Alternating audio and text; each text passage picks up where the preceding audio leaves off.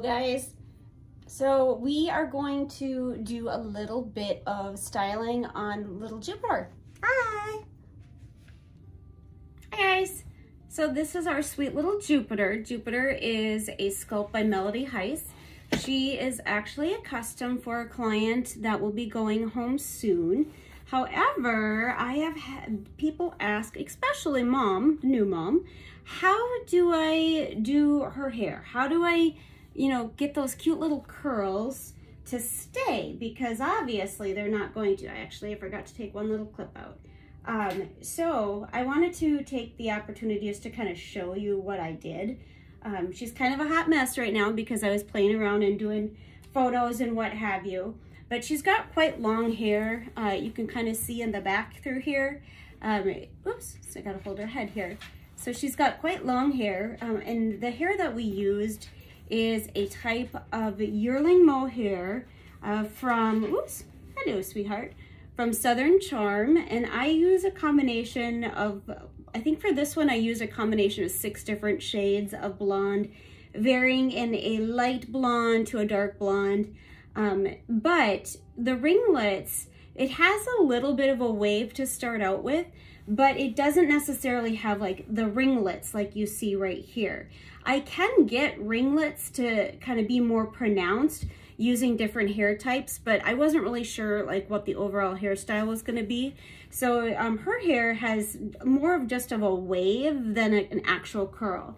Um, but mom really wanted her hair to be longer so that she could do cute little styles on her, put her hair in little pigtails or what have you.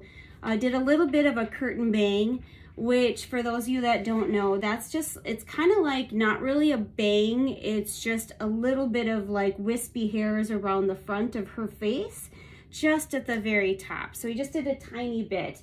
Um, but I wanted to take a second and show you how you can give your little baby curls because with yearling mohair or any type of mohair, honestly, you don't want to use heat on it. So I wouldn't recommend using like a curling iron. Um, and that was a good question she had asked me, uh, you know, can I use my curling iron on it? And I would say no, because what happens is when you use a curling iron on uh, animal hair, which is technically a type of um, fiber, which they use for using textiles and so on and so forth, uh, depending on the temperature of the water or the heat or any temperature and moisture that's applied to the fiber, it can cause the fiber to felt. So what is felting? Felting is basically when the hair becomes matted and really tangled and it's incredibly difficult to undo.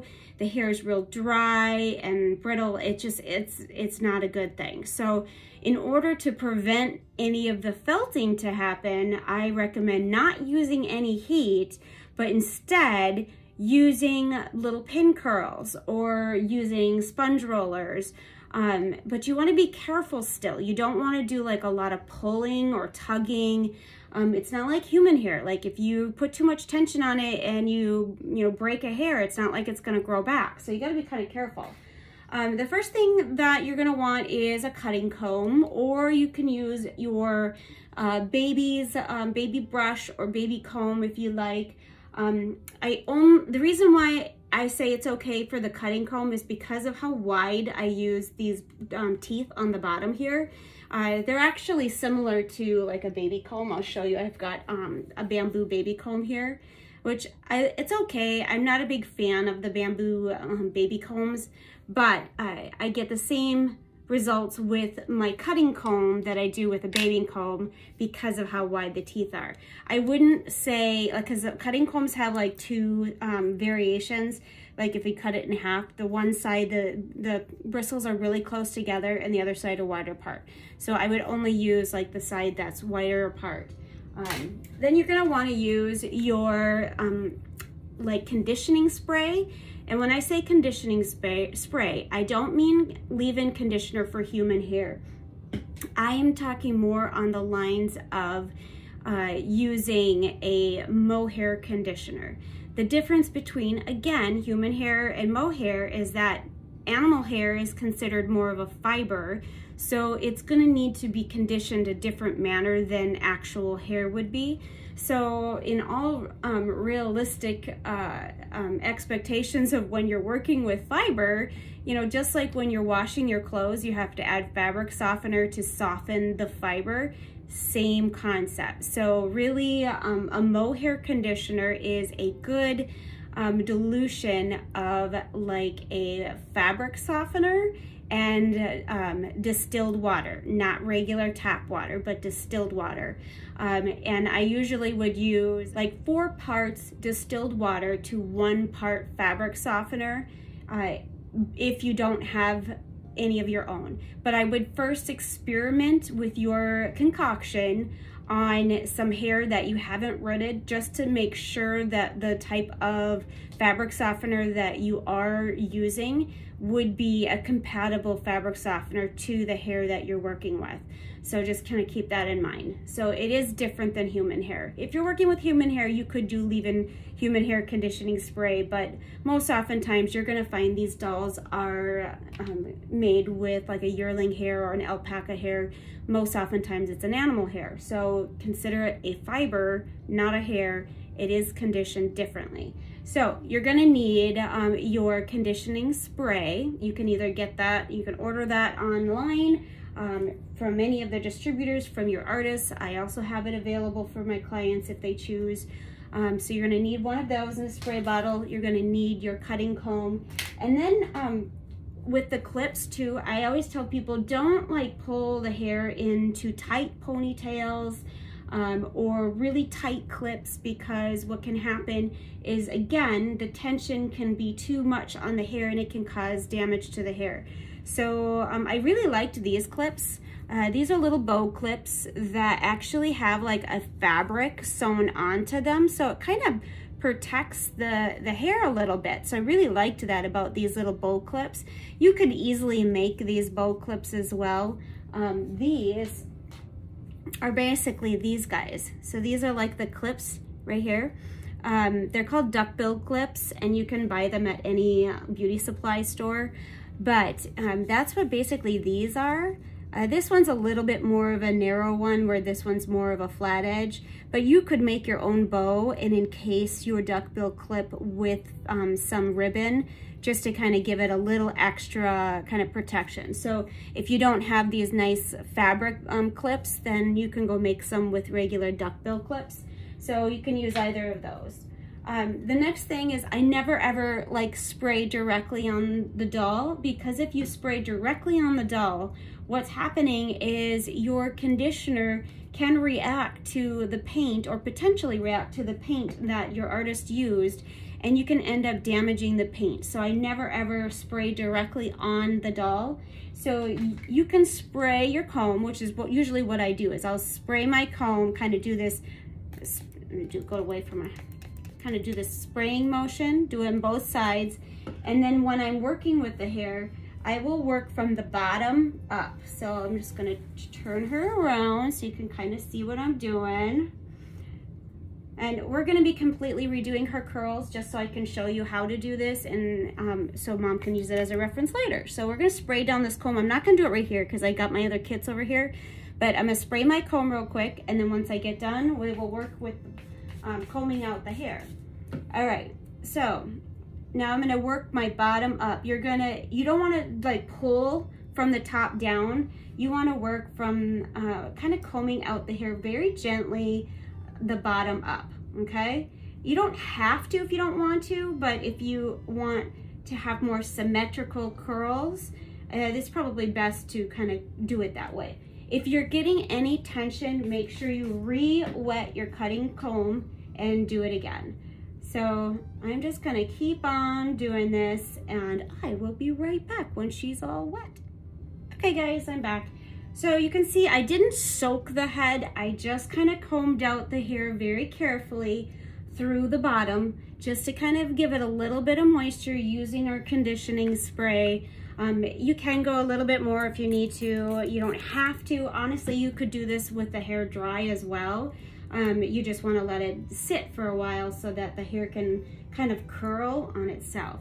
So with this particular style um, that I had shown you, I had done a center part down the center of the head and all the way back to the nape of the, the neck. Uh, let me go, trying to get her to balance. Stay there, little one. All right, so I'm just going to separate that hair, give her a nice little part. Um, now, if you want more curls, you're gonna wanna do more sections. So I just wanted to have like real um, fun, cute little curls softly through the back here. Um, the one thing I did notice is that I wanted a little bit more curls this time, so I'm gonna go ahead and I'm going to section this into four sections versus just the two that I had last time. Okay, so I'm just kind of carefully separating the hair. There we go, I think we got it. Okay, so we've got our hair, and it doesn't have to be perfect, you guys. I know that I'm like a, a perfectionist when it comes to like doing braids and things like that, so um, don't have to worry about that.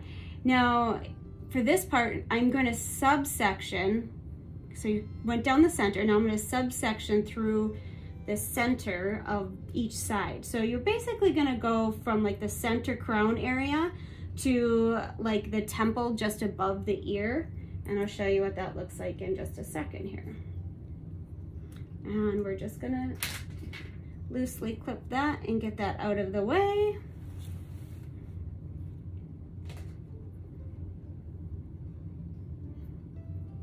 Okay, see if I can turn her so you guys can see.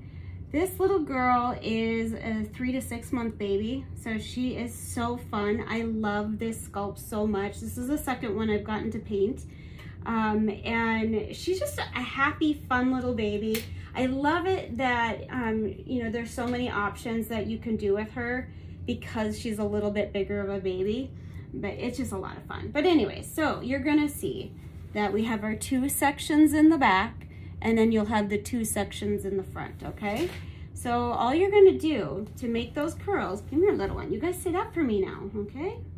All right, so all you're gonna do, I'm gonna turn you so you can see, I keep forgetting, you gotta be able to see. Uh, right about there. Very carefully, I'm gonna avoid the curtain bang. And if the hair dries out by then, just wet your comb a little bit again, oops, and just add a little bit more Again, not pulling the, the comb from the scalp down if there's any tension. I've already pre-combed her, so I'm not worried about it. But working from the bottom up to work out any of those tangles, because if you start pulling on that hair, that's gonna pull the actual um, hair out, and then you're gonna be having a lot of issues. I wanna have nice clean curls, so I'm going to comb them all together and you're gonna do this twisting motion, okay? I know that it looks like it's a lot of tension, but it really is not. So you can kind of see how it's twisting. It'll start twisting in on itself, and then you're just gonna keep twisting, okay? Twist and twist and twist and twist and twist. And then I take my little barrette, which for now I'll just use these clips, so then you use your clip very carefully without pulling, clip the, the little end tail to hold it in place. So you've got your first little twist, okay? You're gonna do that on all four sections. So give me a second, I'll be back in a second. Okay, so we are moving on to the opposite side. Again, it's got a little bit dry, so I'm gonna work out that, that hair just a little bit. Again, it does not have to be soaking wet, so you don't need to soak your dolls. Don't do that and then we're going to twist again. Now, if you want, you can either twist clockwise or counterclockwise. It's not gonna make a huge difference. It will still make those curls.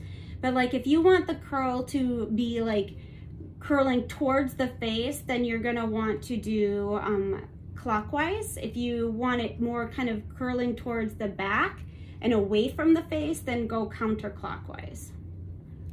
All right. So again, this is not, I know it looks tight, but it really is not tight at all, okay? All right, so we have our two sections done. You can see how those little twists are? That's all you're gonna do, okay? And then I'm gonna do that with the same on the very bottom two sections and I will be right back. All right, so now we have all four sections done. I'm just gonna get close so you can see. I twisted them clockwise and basically when you're twisting, you're just kind of making, you're twisting as you turn. So twist, turn, twist, turn, twist, turn. Very lightly, you don't have to pull hard, even though it looks like there's a lot of tension, there really isn't. So we're gonna let this little peanut um, sit and we're gonna let her hair set. Just like human hair would, you'd put them under the dryer, but we're not putting her under the dryer, we're just gonna let her sit. So I'm gonna let her sit for a couple hours so that the hair can, like any of that moisture that's still in there can dry. And then um, we'll take the curls down and I will be back.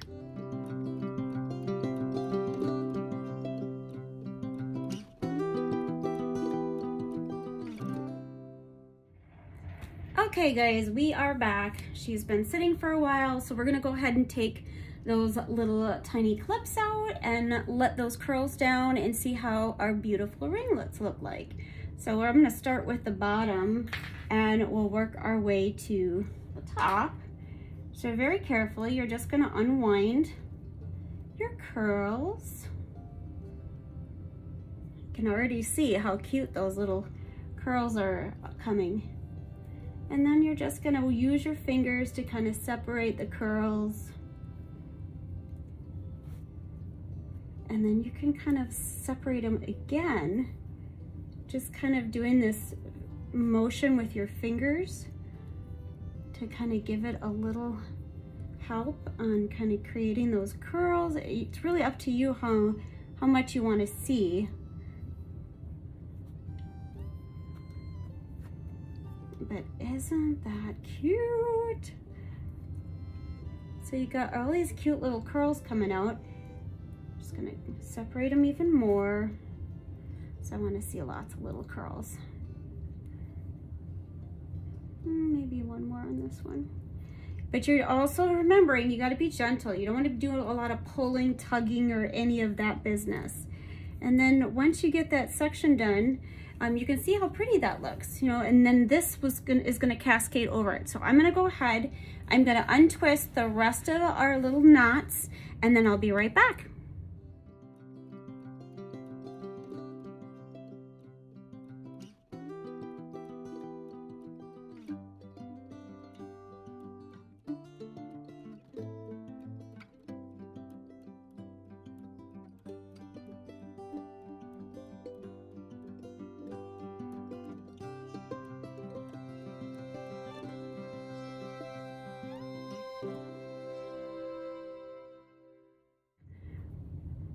But you can see, I'm just gonna turn around so you can see all these cute little curls that she has now got.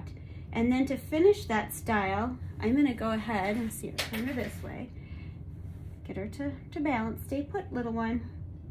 Okay, then I'm very lightly gonna take, whoops, and just kind of use my fingers. I don't wanna use a comb I'm gonna remember that lovely little clip I showed you earlier. Just take your clip and voila. Whoops. Isn't that cute? It's such a cute little easy style to do. It doesn't damage the hair. You're not um, subjecting it to any kind of heat um, or a lot of water. Okay, come on. Gotta get her to sit. Oh, she's a big girl. Okay. And again, just gonna kind of do this swooping motion, very lightly clip that one in. And then I'm gonna take and just kind of work the curls together however I want them. But you can see how cute that looks and how nice and shiny. If you wanna um, go in and, and add a little extra oomph, just take your conditioning spray, mist your hand, and then just kind of scrunch the bottom of it. Um, that won't take your curl out. It'll just kind of soften the bottom as well. Isn't that just so cute? I love this baby. if, you, if it's too curly, just dampen it again and just kind of very lightly kind of separate those curls with a little bit more of your water or whatever and make sure it's like again your conditioning spray or like distilled water. Um, don't just use regular water all the time because there's a lot of chemicals that they use to treat water uh, and condition it so that can build up on the hair as well. Okay I'm gonna turn around so you guys can see her. I've got kind of a, a lamp on her so you guys can see her so she's got a little bit of a glare so sorry about that but show you those cute little curls. How adorable is that? Then I left the little curtain bang out. If you want, you could go ahead and um, curl the curtain bang uh, like however you want with your fingers and or lightly do a pin curl and pin it. But that is how we create a curly hairstyle on our sweet girl and kind of give her some extra curls without subjecting the hair to any kind of heat or anything like that that could potentially damage the hair. So here she is. All right, I hope that helped you guys. Um, make sure you subscribe and follow if you haven't done so already. I would be really appreciative and I look forward to sharing some more uh, information with you as we progress through the year. Have a good one.